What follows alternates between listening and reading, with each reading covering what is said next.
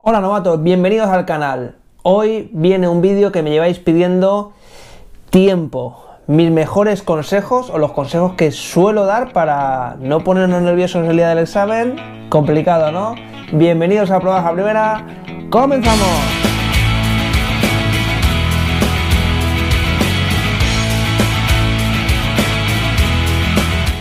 Hola, soy Den 10 y sí, llega ese día tan importante en el que nos lo hemos currado tanto, hemos practicado, hemos sufrido, hemos aprendido, hemos mejorado. Hay días mejores, días peores, pero sí, ha llegado ese día y, y solo nos pasa por la cabeza atiborrarnos a tilas para no ponernos nerviosos. Y os voy a dar esos, consejos, ¿vale? Os voy a enumerar, digo, van a unos 5 consejos que os voy a dar para ayudaros a amortiguar un poquito esos nervios. El primero de ellos son esos nervios. ¿Cómo no nos vamos a poner nerviosos si somos personas? A ver, si nos pinchamos, nos sale sangre. Claro que nos vamos a poner nerviosos. Lo raro sería no ponernos. O sea, esa frase típica que os van a decir, el secreto es no ponerse nervioso.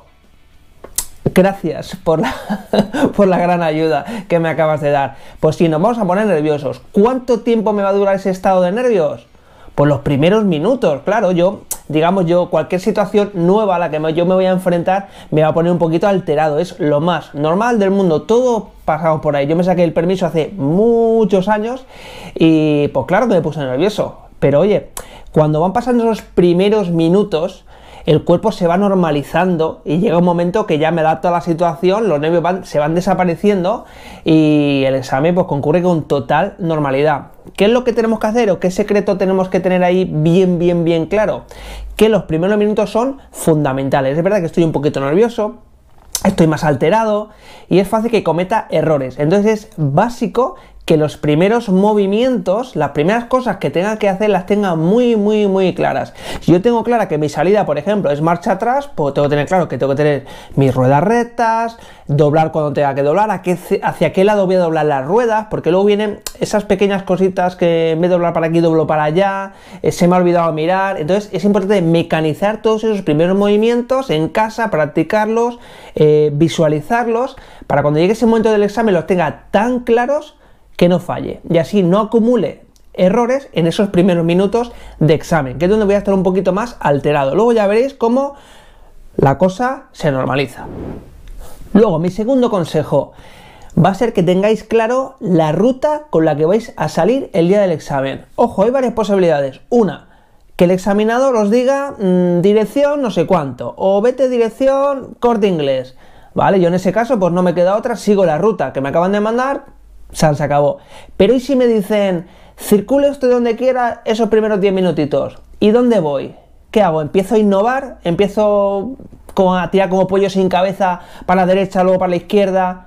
Van a venir los líos, tenerlo claro. Lo primero y lo mejor y lo más importante es tener una circulación libre más o menos clara, saber para dónde voy a tirar. Entonces, si tengo esos primeros minutitos controlados, que como os acabo de decir, son donde voy un poquito más nervioso, sé hacia dónde voy a ir, incluso ya lo he practicado en clase una, dos, tres veces, ¿vale? Me ha sacado un poquito ese circuito por si me tocará hacer esa circulación libre al principio a mi bola, ya os digo que mm, el examen pinta bien, ¿vale? Y si luego os la van a pedir, ya veis que no vais a acumular fallos al principio, vais a coger esa confianza que os va a hacer falta para sacar la prueba hacia adelante. Así que el circuito libre controlado. Mi tercer consejo es intensidad. ¿Qué quiere decir esto? Yo tengo que una intensidad durante toda la prueba. A mí mi profesor me ha enseñado a hacer las glorietas de una determinada manera, los teas del paso de una determinada manera, cómo tengo que ir circulando. Pero ojo, ¿y si yo eso lo voy haciendo los primeros minutos y luego voy perdiendo esa intensidad, lo que es el resto de la prueba? A mí de nada me vale hacer 10 pasos de peatones buenos y uno malo, 8 CEDAS buenos y uno malo, porque por ese malo a mí me van a suspender el examen. Yo tengo que mantenerme intenso, quiere decir mantener la guardia alta desde el minuto 1 hasta el minuto 25, porque hasta que no apago el motor, el examen sigue vivo, y si sigue vivo, tengo que estar atento, con lo cual mi guardia siempre alta. Bien, ¿qué ocurre si tengo un fallo durante la prueba? ¿Que pego el bajón y pierdo la intensidad?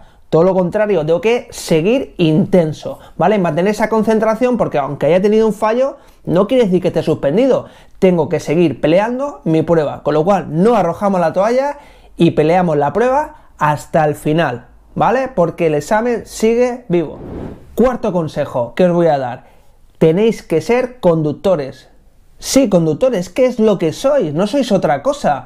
Eh, pensar que yo estoy aquí el día del examen, me quedan 25 minutos de prueba. Cuando pasen esos 25 minutos, yo ya soy un conductor, ya tengo mi permiso, puedo conducir yo solo, ya sé, como dije el otro día, que ya podéis tener permiso desde el mismo día que sacáis la prueba. Quiere decir que ya tenéis que pensar como conductores. No tenéis que estar pensando, no es que estoy en un examen y a ver si me voy a parar y piensa el examinador que es que me he parado y a ver si salgo antes y empieza a tomar decisiones que no son de conductor, no son decisiones de sentido común, son decisiones en base a lo que piensa otra persona. Y yo no puedo conducir pensando qué piensa otra persona, tengo que conducir pensando en lo que tengo aquí, en lo que estoy viendo hacia adelante y utilizar el sentido común para llevar mi coche, que es lo que tendré que hacer esa misma tarde si por la mañana consigo sacar la prueba. Así que ser conductores, utilizar el sentido común y centraos solo en conducir, porque sabéis hacerlo. No es algo, que, algo nuevo que de repente vais a hacer, sabéis conducir porque habéis practicado, así que a por ello. Y el último consejo, y pienso que es el más importante, es la actitud el día del examen. Yo el día del examen no voy con miedo a la prueba, no voy con miedo a la desconocido, no voy a hacer nada nuevo ese día, simplemente voy a seguir conduciendo, que es lo que vengo de hacer en clase. Entonces mi actitud es que yo vengo a comerme el examen. El examen no viene a comerme a mí, sino yo vengo a comérmelo a él.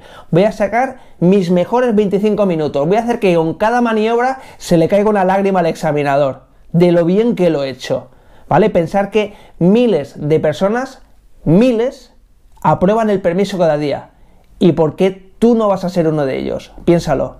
Si ellos han sido capaces, tú también. Así que, a por ello.